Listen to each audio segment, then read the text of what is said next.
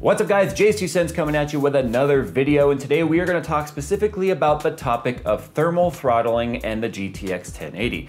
Now I can hear you already, what do you mean thermal throttling? NVIDIA showed a demo where it was only running 67C. So today we're going to talk about thermal throttling and why pretty much every single reviewer on YouTube with the 1080 was a little bit shocked about the high temperatures that the Founders Edition card was demonstrating. And I'm going to show you what's happening and pretty much how I got around it with doing my benchmarks because a lot of people were like, what the hell, Jay, your temps are not as, as high as others were saying. So with that said, let's get started.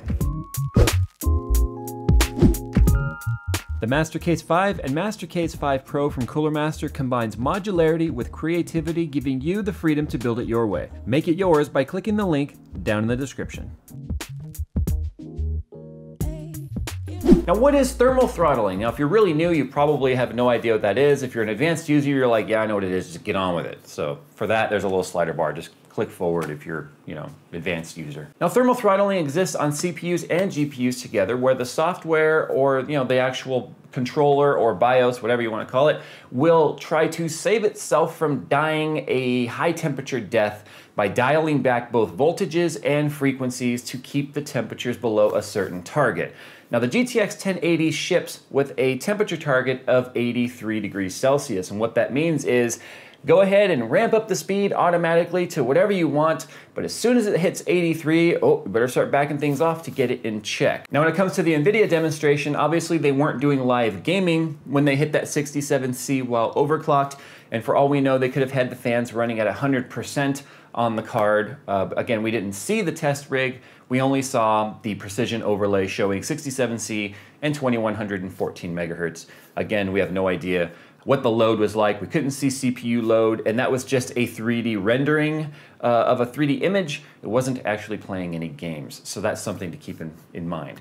So that's why when myself and a lot of other reviewers, we all started kind of talking behind the scenes with each other as we were doing our testing, like, hey, are you noticing your card getting really hot? And it was like, wow, I thought it was just mine. And it turns out everybody was complaining about high temperatures because we expected it to be a lot lower. Now 16 nanometer FinFET is a very, very small chip. And what that means is you're gonna have a lot of focused heat. So the idea of 67C under load was really kind of mind boggling because with it being so small and focused, we expected the temperatures to actually be kind of hot. Turns out they, uh, they kind of are. Now the folks over at Gamers Nexus actually did a Frankenstein build where they noticed they had high heat, so what they did was they ripped a hybrid cooler off of an EVGA card, stuck it on their 1080 to see what would happen and if that would fix thermal throttling.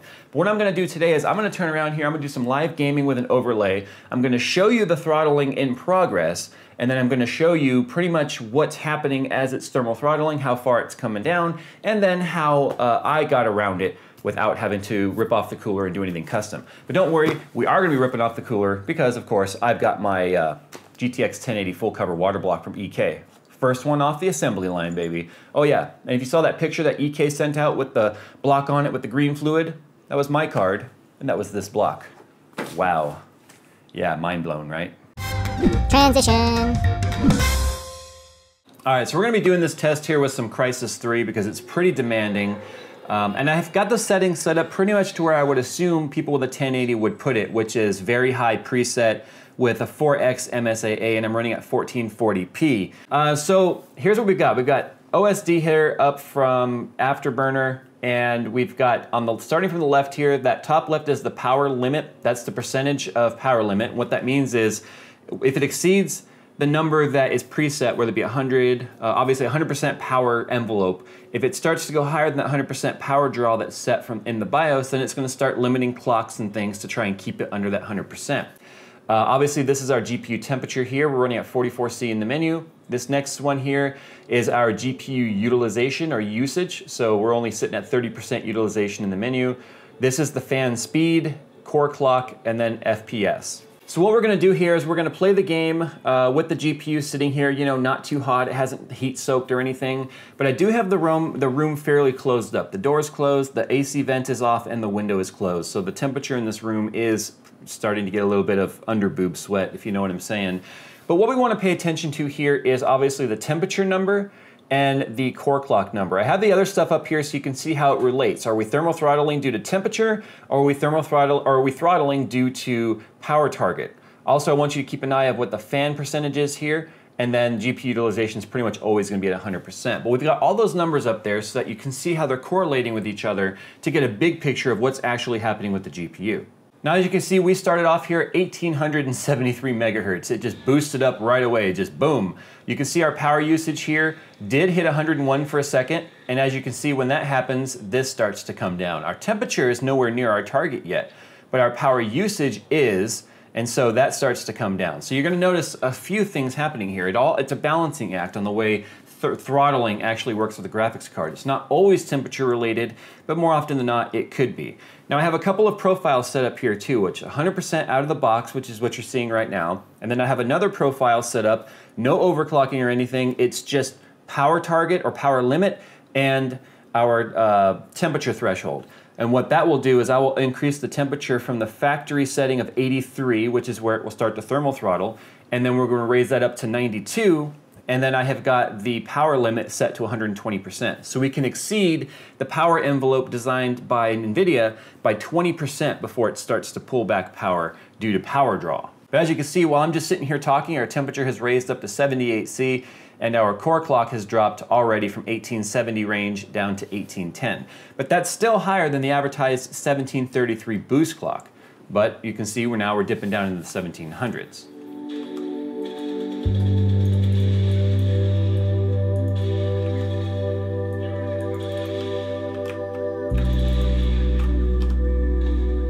As you can see, just that little bit of a battle, we're down to 1721.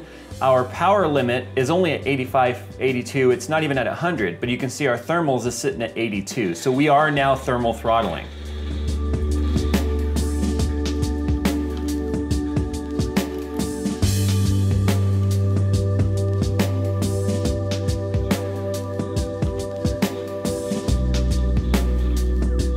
We've come all the way down to 1645 for a second there, so we're almost down to the base clock now. All right, well now you can see we're all the way down to 1620, between 1645 and 1620. So we've pretty much lost our boost clock now, and we're pretty soon are gonna hit 1607. So what I'm gonna do now is I'm simply gonna change my profile here and as you can see, by changing my profile, by letting the power target go up and the temperature target go up, we immediately went all the way back to 1797. And as you can see, we're not even throttling anymore. Well, okay, it bounced around a little bit. But you can see the fan speeds come up a little bit, temperatures come up to 86, so we're past that, and power limit has gone above 100% now. But look at what the clock is doing. The clock is staying much more stable.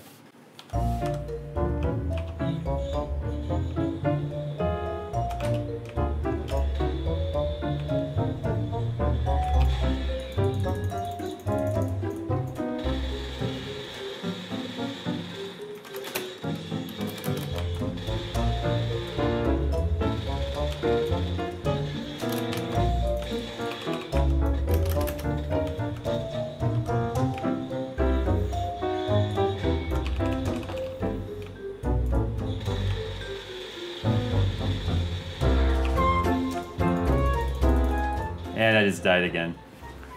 But look at that. Temperature still, or the core clock is still sitting at 1785, but the temperatures have, have gone up obviously a couple of degrees. But you can see if you give it just a little bit of extra temperature headroom, it will actually go up pretty high on the core clock, so all the way back up to 1797 again. Now what I want to point out here is the GPU is sitting at 66% fan speed, but it's actually really quiet. It's so much quieter than the other cards typically are. So now one other thing I want to do real quick, just to just to see, obviously here, is I'm going to open up Afterburner, and I'm going to put the fan manually to what I did in my test, which was 80%. So the fan speed kicked up a little bit more. The noise came up a little bit, obviously. You can see the fan speed's now at 80%, but keep an eye on the temperatures right there.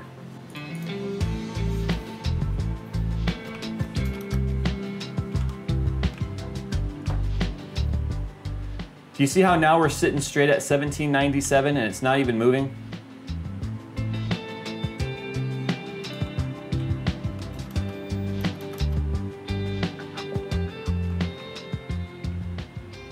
Now if we take a look right here at our core clock, as you can see, it is just bouncing all over the place. It started off nice and high at 1873 where we started the video, and then it came all the way back down into very low 1620, which is barely above uh, the base clock of 1607, and then it's still just bouncing all around. But the second I increased right here, this to 120 and the temperature limit to 92, it didn't reach 92. As you can see, the highest temperature was 87. Yeah, still very, very hot.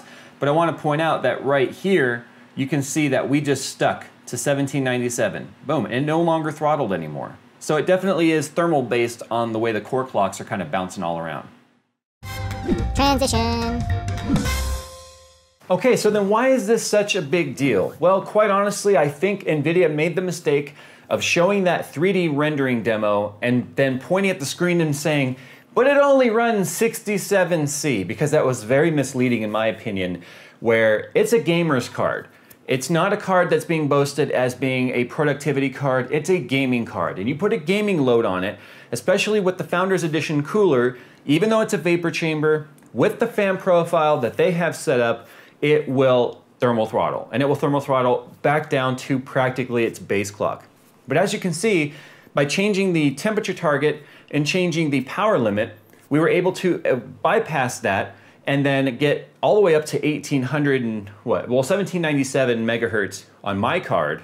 And it only went up to about 87C. Now I say only because I allowed it to go to 92, but it didn't get there. So what that means is the thermal throttling is happening right at the upper echelon of where the limits are for that cooler.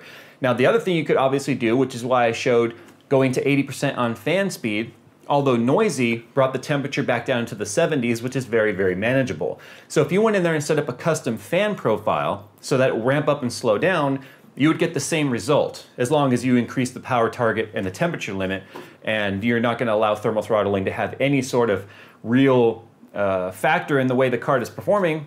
Unless something's wrong with the cooler, then it's going to try and keep itself from dying. Now, I think that the people are making a big deal of this again because of that demo, because the reality here is all of the reference cards in the history of the reference cards have done this. This is nothing new. In fact, people wouldn't even be making a point that it's thermal throttling if NVIDIA didn't make the point that it's only 67C. So I do think there was a mistake made on that, that stage where there was a bit of an expectation planted in all of our minds, followed by a big dis disappointment when it came to the reality of it's still a reference cooler that cannot keep these temperatures in check with the way they're shipped out of the box. You've got to go in there and tweak some settings. Now the good news is the partner cards are launching literally in a couple of days and you're going to start seeing custom designs like obviously from EVGA and Gigabyte and MSI and Zotac. They've all got their multi-fan heat pipe behemoth coolers that are going to keep things in check and be a hell of a lot quieter. Now remember, this was an open air test bench, which means the only cooling factor on the card is the card itself. Case flow wasn't a factor. So if you have a small form factor case or even a regular enclosure of some sort, you might even see thermal throttling happening sooner and you might see it come down even farther depending on what your case flow is like. So I actually showed you best case scenario here, huh, no pun intended. I actually showed you best case scenario. So your results might actually be worse than mine. Anyway, guys, hope this video has helped shed some light on the thermal throttling that's happening here from NVIDIA.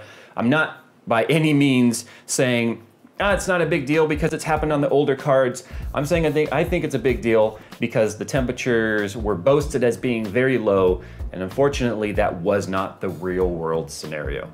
But you can play around with the fan profiles at the sake of, or the sacrifice of noise, or just skip the Founders Edition altogether and go with a custom card cooler uh, from the likes of, you know, all of the board partners out there with multiple fans, or water cool it like I'm gonna do, and then just go balls to the wall on the clock. Anyway, guys, see you in the next video. Hope this video has helped. Anyway, time to get out of here. A bunch of people came at me saying, talk about thermal throttling. I've done that. I hope you're happy now, so you can just zip it and just shoot it because I'm gonna go now. It's a holiday weekend coming up. I'm gonna go have some fun. See you guys in the next video.